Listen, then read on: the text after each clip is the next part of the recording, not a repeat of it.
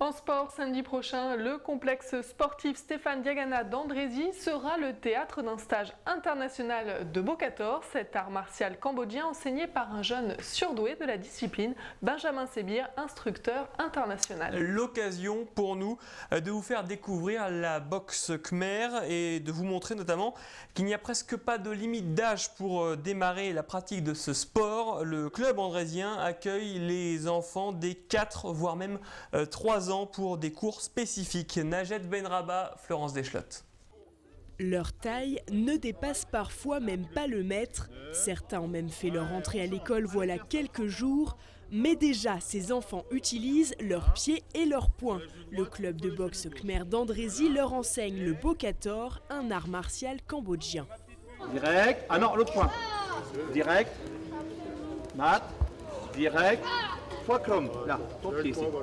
Ouais, c'est bien, ça te plaît hein Ah, c'est toi qui mets les mains comme ceci maintenant.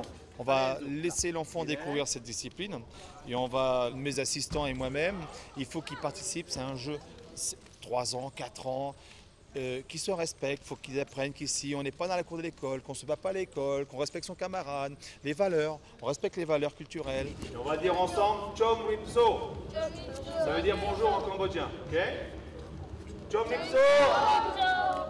On va faire un cours d'une heure trente parce que l'enfant trop trop strict, il va, il va se relâcher. Donc c'est pour ça qu'on lui fait un petit peu de jeu, on, reste dans, dans l'éveil de l'enfant. Les gants sont parfois aussi gros que leur tête, mais ici, les coups sont plus simulés que portés. La technique compte plus que la force de frappe, ce qui rassure les parents qui observent leurs enfants.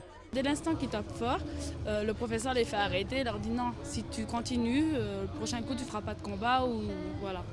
Donc c'est pour ça que franchement non, pas peur. Il y a le papa qui en fait, le grand frère aussi. Donc non, c'est très bien, ça lui permet de, bien se défouler et bien d'être encadré.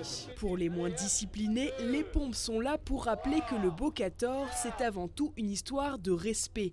Pas de quoi décourager ces sportifs en herbe qui continuent de s'exercer, chacun trouvant son bonheur.